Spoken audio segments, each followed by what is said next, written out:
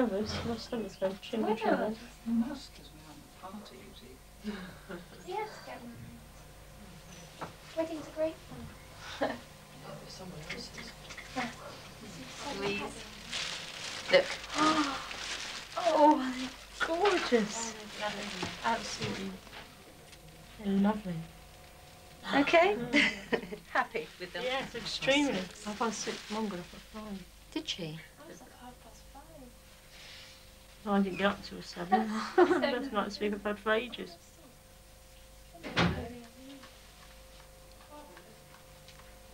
Is that this going Yeah, the same as like um, I thought I went to the top, yeah. No, No. I think you're right, actually. I think it goes. goes downwards. This is Louise Mason. Today she's getting married. 25 years ago, almost to the day, Louise was born without arms and legs, a victim of a drug called thalidomide. It had been prescribed to her mother as a sedative during pregnancy. The makers said it was safe. Mm-hmm. Louise normally uses a wheelchair, but today, because she's always dreamed of walking up the aisle, she's wearing artificial legs. Down a bit. Let's have a look. No, it's not right. It's gaping. No, it's gaping because you're looking down. Yeah, I know, but it's, it's You want it still is- tighter like that? Oh, yeah, without you pulling me over. I've always said to myself that if I was marrying somebody in a wheelchair, I would stay in a wheelchair. But if I was marrying somebody six foot six, the one advantage of having artificial legs is you can be six foot six. You haven't got to be any particular height. When I met John, I stuck to what I said, and I will be at a decent height, which happens to be five foot two. that is suitable, and I decided that it would look much better, eh, in a wedding dress, walking up the aisle than sitting in the chairs. It's just something that I made my mind up years ago. I think just, just, just, how's it looking at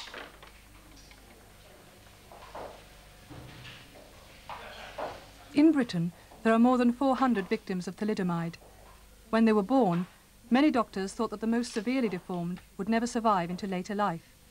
But survive they did, to become a remarkable generation. Tonight, we meet three members of that generation. This is their story. They thought I was going to die. Um, as you can see, I didn't. And when my dad heard that I was born, he bought a bouquet of flowers, with a pink ribbon and a blue ribbon. He saw me make my incubator and he threw the flowers all over the wall. Good boy. From the age, I think it was about seven years old, I knew I'd get married. I didn't know when, obviously, but I knew that I, I would get married. Uh, I had to, I was lucky enough to find somebody like John. We complement each other really. John um, has, has got bad eyesight, so I do all the driving and all the visual things that need doing. And um, everything that I can't do, and he's here, he'll, he'll help me do it. I've taken on exactly the same as what any other young man would take on when he marries a lady or a woman. The difference being with me that um, it's more involved. Uh, You know, there's certain things that I have to do for Louise that perhaps another man wouldn't do for his wife. Love. That's basically it. I mean, we, we love each other. We enjoy each other's company.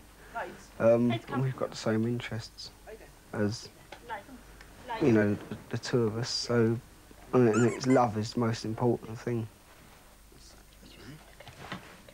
I feel envious of some um, couples now.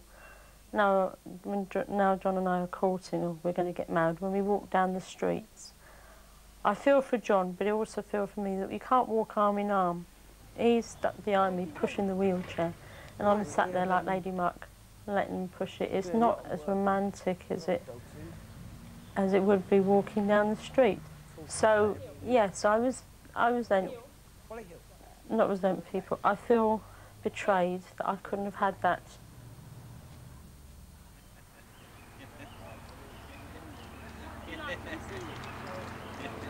Have you seen him? Oh, God. Yeah. What's he like? Um,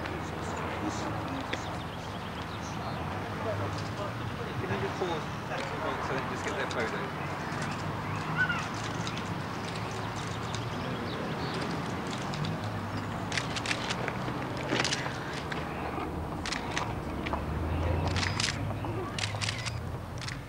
We'll be happy, I'm sure.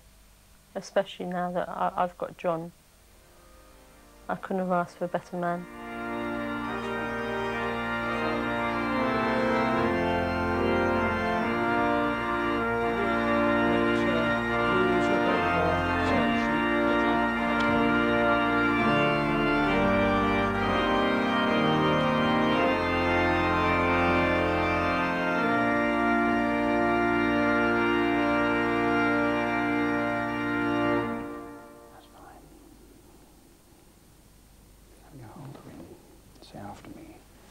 I, Louise, take you, John, I, Louise, take you, John, to be my husband, to be my husband, to have and to hold, to have and to hold, from this day forward, from this day forward, for better, for worse, for better, for worse, for richer, for poorer, for richer, for poorer, in sickness and in health, in sickness and in health, to love and to cherish, love and to cherish, till death us do part. till death us do part.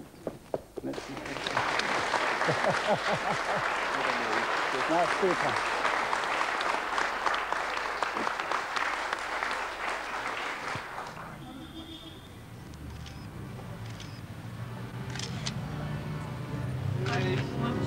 Well, look at Louise. How do you feel, Louise?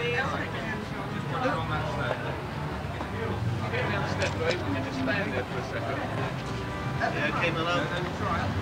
Take your time, you've got all the time. Done it. Well done. John, come to one side. John, come in closer. That's it. How do you feel, Louise? Oh, look at my ring, I've done it. That's lovely. That's wonderful. John, John, just, just forward, just right. John, Louise, And again, Louise.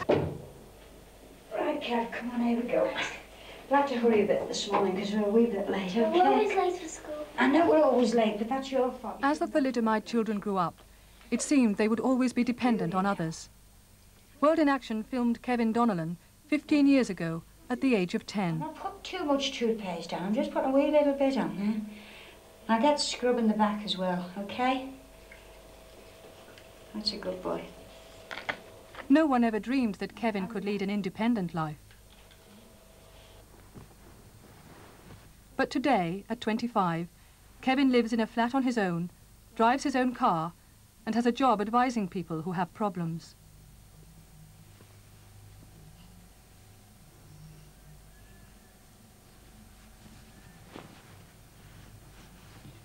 I was 22 at the time and I felt it was about the right age to leave home because I thought if I don't leave home now, I never will. I mean, my parents had looked after me all those years and I felt that, well, obviously they're not going to look after me forever as they get older and I didn't want to rely on family or friends. I mean, I'm sure my family would have taken over the role of looking after me, but I didn't want to rely on anyone and I felt I just needed to be independent.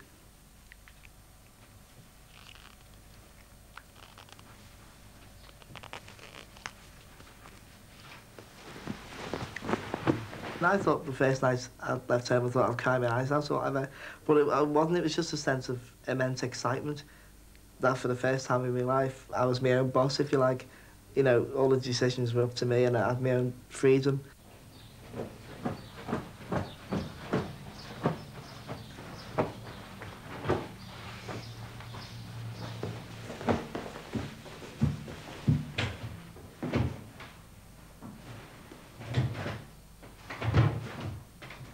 Had to learn to do everything from scratch, like a young child.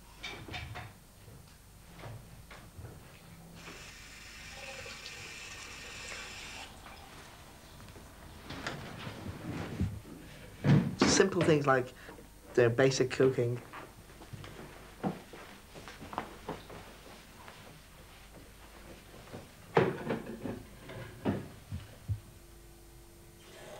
Every simple thing was like a challenge, if you like. I mean, making a cup of tea, you know, like poured boiling water, you know, all over the place, you know, and spilled things and, you know, and ruined loads of meals that I'd cooked. I mean, it wasn't, you know, it was trial and error, really. But I just carried on, you know, just persevered with it.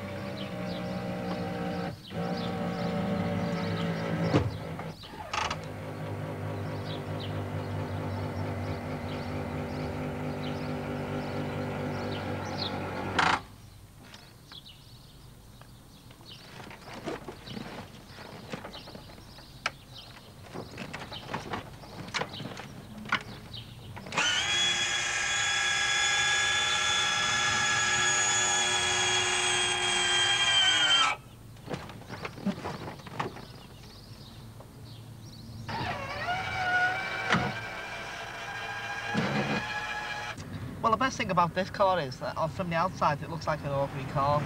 So I've been thrilled since I've got it, you know. It's completely changed my life, really, because it gives me total independence. I've been pulled up for speeding, um, and the first thing they say is, can you step out the car, please? And I say, well, I can't actually, officer. And then they look in the car, then they sort of look embarrassed. And then they sort of like, you know, they're amazed about the car, and then they ask me all sorts of questions about how it's adapted and things like that.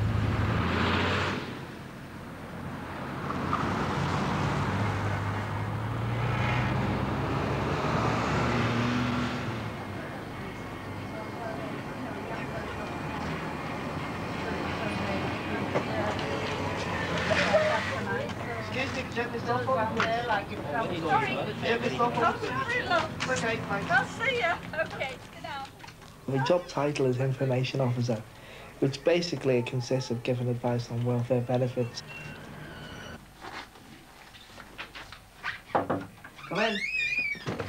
Some people are shocked when they first come into the office and see the wheelchair. Well, they might come in and say, oh, I'm looking for Mr Donnellan.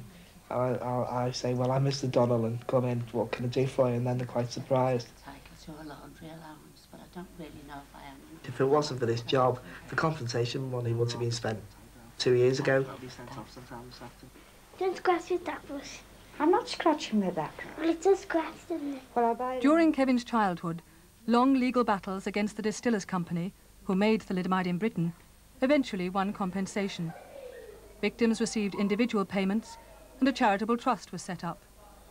But the individual amounts now seem inadequate for a lifetime, especially for people who want to be independent. Well, when I was about 11 with the court cases we were going through, I was awarded um, £22,000. When it came out the court when I was 19, it had gone down to just over £19,000. Where the courts badly invested it. It's just peanuts, really, given the fact that, you know, I've got no arms and legs. I mean, it's just an insult, really.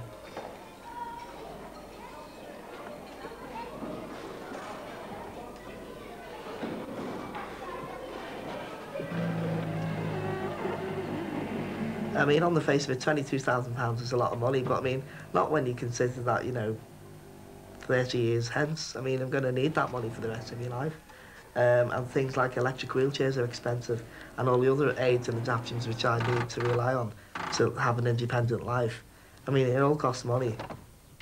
It is a scandal. Um, there was no sort of justice involved. Um, you know, the company who developed the drug is a multi-million pound multinational company. Uh, earns millions of pounds a year in profit. Um, I mean, and they talk about compensation of £22,000, which is just a pittance, really.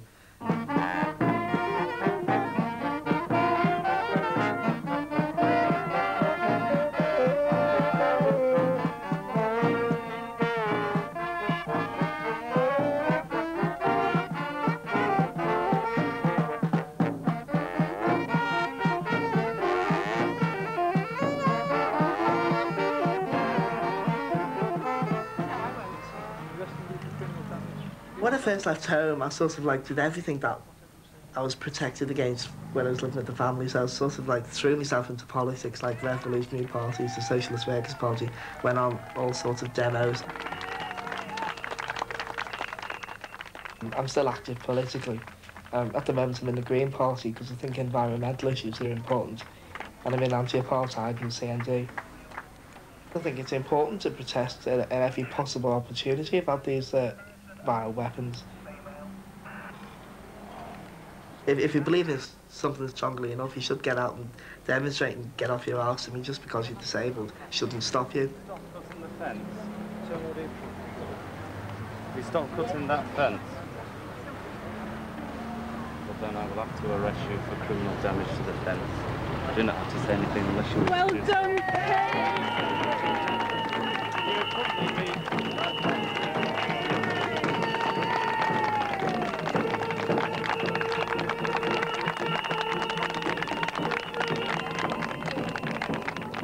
got prejudices about disabled people like them, about other minority groups in society. They think that because I'm disabled, that I won't sort of have any ordinary, you know, I might be uh, physically disabled, but they might think I'm like disabled emotionally as well. They think I haven't got the same emotions as anyone else. How did you first pluck up courage to ask girls out? Well, I've always been a daring person anyway. Um, I haven't let the fact that I'm disabled stop me in anything really. Um, and I just saw this, well, one girlfriend who, who was really serious with me. Um, I met her in one of the offices in work and I thought, you know, she's quite attractive. Um, and I'd, I'd known her to speak to on the telephone as well, so I knew I liked her personality. That come across quite strongly. And I just sort of like took a deep breath and picked up the phone and said, what are you doing tonight? Do you fancy going out for a drink? And um, I really expected her to say no. And she said, yeah, I'd love to. And like I nearly fell off me the electric wheelchair when she said yes. And uh, I was thrilled to bit, So I took her out and took her for a meal, actually, you know. I went really over the top. And it, we started going out with each other, and it was a really good relationship. Um, you know, I think we loved each, each other. It was like a two-way thing. And the fact that we were just holding hands in public made all the difference. I mean, here's someone who appreciates me for, you know, as a person, who doesn't see someone without arms and legs, but she sees the whole me. I was consciously aware that this like, beautiful girl was by my side, and I thought, you know, look at this chap, look at my girlfriend. I was quite proud of if you like. I'm not going to go into detail, but we basically broke up. I think it naturally, I, I was just like so devastated and heartbroken, you know, I just couldn't handle it really. I was just like really devastated. And I really just got over it now, really, but I was, I was really hurt by it. Because I had so many expectations about how I'd like the relationship to go. And we, we, we really did plan marriage and things like that. And she was thinking about moving into the flat with me, you know, in a couple of weeks' time before we finished, be, before we broke up. At the time that you felt worst Mm. about it, what did you do? Well, I took an overdose, which I regret now. I mean, I didn't want to kill myself. I just wanted people to wake up to the fact that I had had a problem. I mean, I felt people weren't taking me seriously enough. So I thought, you know, I'll make sure people get to know. Um, I mean, friends, not necessarily family. I didn't want to sort of approach my family about it. But I just wanted people to, to be aware that, you know, here's someone who, who did have emotions. I mean, I'm an emotional being as well, like everyone else. Do you hope to marry one day? Yeah. I mean, why not? I mean, I live on my own, I've got a job, and why the hell not? I've got a brain. Um, I mean, I know I can love someone. I mean, uh, you know, I can, give just as much love to, to a girl as I'd expect her to give to me. I mean, why not, really?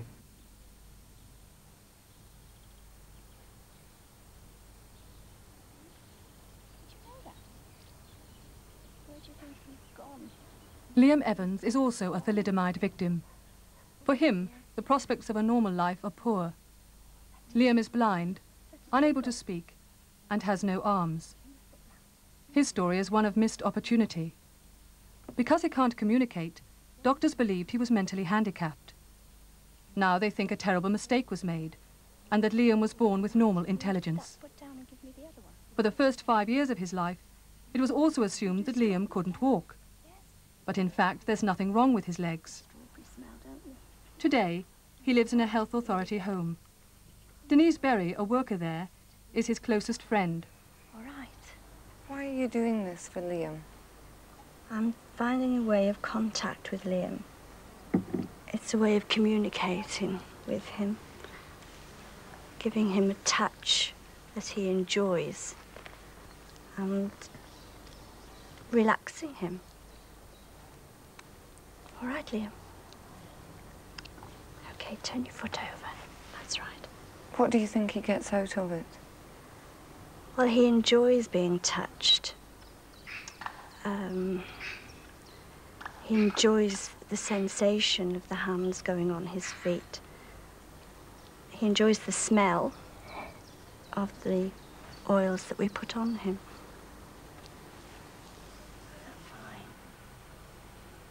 Makes my back ache, you know, this does. Yes, it does. It's all right for you, sat there. Relax yourself down. All right, there you go. He understands everything you say to him. You get a response from him. He also tells you when he doesn't want to do anything. He makes it quite clear. He's always keen and eager to do whatever we want to with him and to join in all the activities that we have. Mm. Oh, here we are. We do as much as we can with him to keep him walking, to keep his feet supple, to use his body as best he can. Balance is one of the greatest difficulties.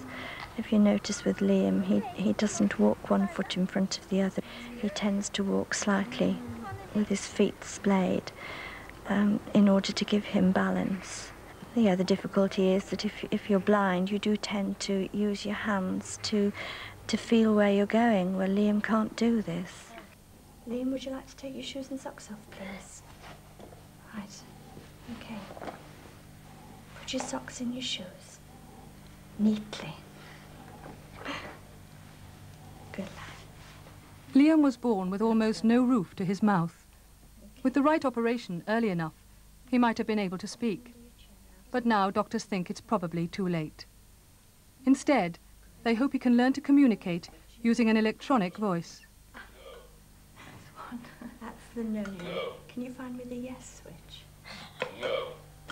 Reach out. Reach out. Reach out with your other foot. Yes. That's it. Okay. Right. It's a tense moment as Liam makes a faltering start. Now, after 25 years of silence, he's about to use words for the first time. You go swimming, Liam. Oh, Liam Evans, you did not. You didn't go swimming. Going to say no. Where's that no? That's right. It was Clinton that went swimming, wasn't it? His main thing that we're working on at the moment is his communications, and I really feel that that is the field that he's got to go and into and be improved on. It's the most important thing that Liam can do is to be able to make decisions for himself and make demands of people instead of always having his decisions made for him. Liam is a person. He can understand everything that's been said to him and he can respond. Did Clinton go swimming? Ah, that's right. Did I go swimming? I think he's happy. Did Sue go? Did you?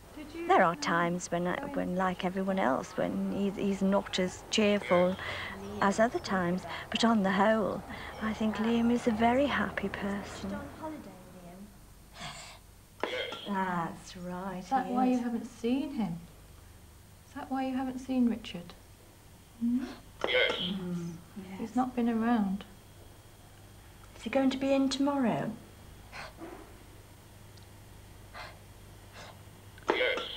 Mm-hmm. No, he's off for two weeks. That's right, no. That's it. That was a positive one. You found that no at last.